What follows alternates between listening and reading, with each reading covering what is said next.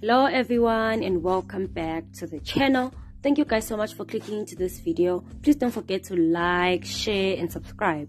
The media personality Boity Thulo was taken away in an ambulance with a white top stained in blood after the former metro fm Bujy Bikwa allegedly threw a bottle at her. Now the witnesses are saying the injuries are serious in a police statement, Boity said she was having drinks with friends when they started debating about ancestors. She said the debate turned out violent when the Metro FM host grabbed a glass and threw it at her, hitting it in her face.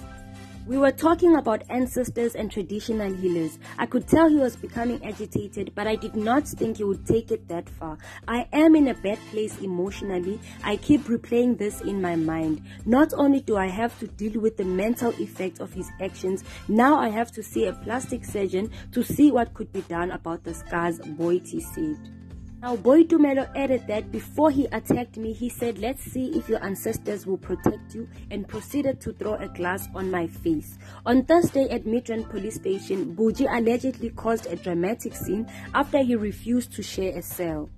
Now, when he realized he would spend the night with other male detainees, he refused to go to the holding cell, saying he was uncomfortable. But because they could not let him share a cell with a female detainees, they allocated him a single cell where he spent the night alone, the police officer said.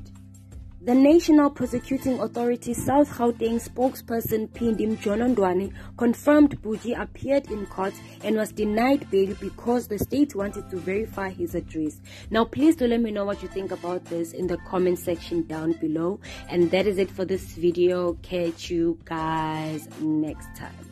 Bye!